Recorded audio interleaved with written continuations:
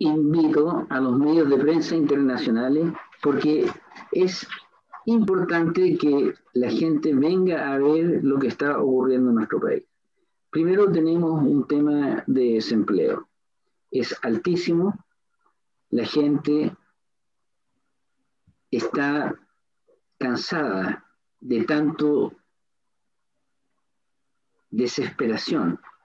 Me cuesta decir estas palabras porque las autoridades parece que no tuvieran sentimientos y no, no entienden de que cada persona que está sin trabajo no tiene los recursos para poder vivir tranquilos y en paz.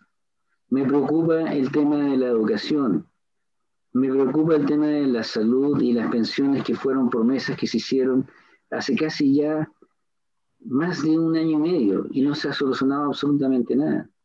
Entonces, me gustaría invitar a todos los medios de prensa internacionales que vengan a ver con sus propios ojos qué es lo que está ocurriendo, quién está manejando los medios de prensa en nuestro país que no muestran la realidad y muestran cuando hay desastres todos los días, cuando hay manifestaciones todos los días, cuando el colegio de profesores está reclamando de que si algo ocurre porque la gente está retornando a clase sin la seguridad de que no les va a pasar absolutamente nada y el gobierno no responde con absolutamente ninguna respuesta que sea válida, es importante de que entiendan de que tenemos que tener responsabilidad porque nos tenemos que preocupar por la protección de las personas, que eso no ocurre. Hay todos los días crímenes, delincuencia altísima.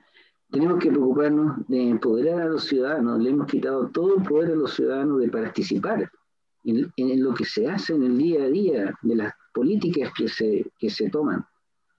Y tampoco hemos enriquecido la calidad de vida de las personas. Todos los días algo ocurre, el medio ambiente es terrible, entonces, es importante que los medios de prensa internacionales vengan a Chile porque los medios de prensa en nuestro país están controlados por las grandes familias y ellos son los que manejan la información y no hacen llegar la información que ocurre cada día. En este minuto hay una gran protesta de estudiantes en el Ministerio de Educación y ningún medio de prensa lo está mostrando.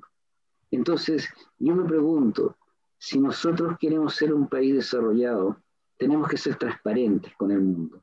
Tenemos que mostrar lo que realmente está ocurriendo en el país y tenemos que mostrar lo que está ocurriendo dentro del país también. Entonces yo les pido a los medios de prensa internacionales que vengan y vean lo que está pasando en nuestro país. Muchas gracias. Soy Bernardo Jabaquín.